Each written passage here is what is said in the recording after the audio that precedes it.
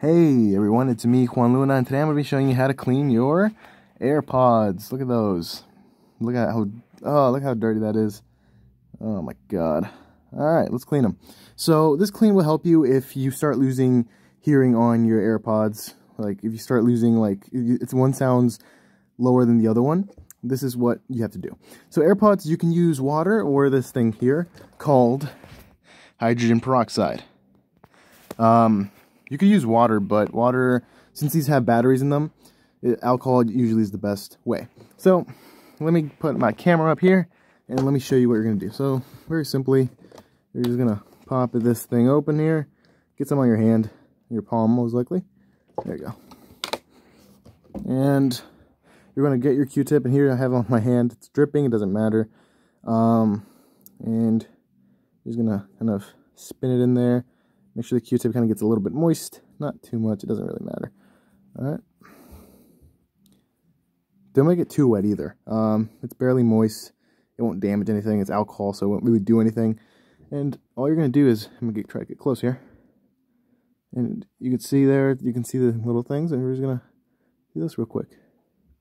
See that? I don't know if you can see it. It's very minimal. These these aren't that dirty, but eventually they will get dirty because it's pretty much the da same damn exact design, um, which I hate Apple because they don't change it. They don't change the design, but here we are purchasing their products.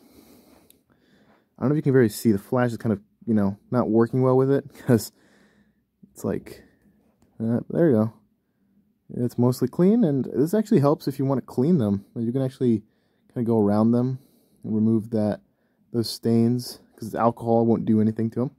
Now we're just going to grab the other one grab alcohol or water, whatever you prefer to use. If you do use water, be you use very small amounts. All right, here we got some in my hand. It's dripping off. I don't really don't care. It's alcohol. Nothing happens. So you can see here, this one's way more wet.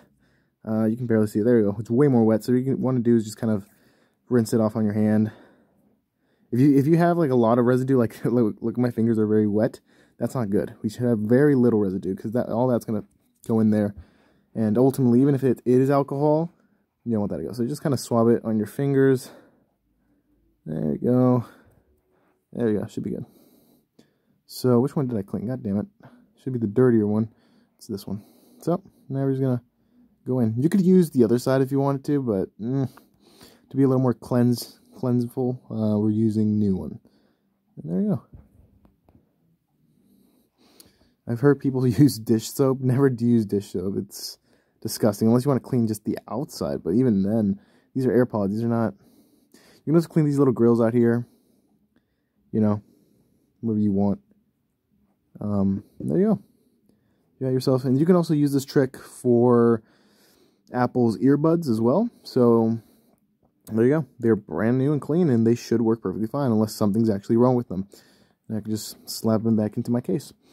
Now, to also clean the case, if you really want to, you can also just use these cotton swabs. Clean them off. They're a little harder though. Um, actually need more alcohol most likely. Yeah, I need way more alcohol here to clean this these things up because they look disgusting after a while, and I don't like it personally.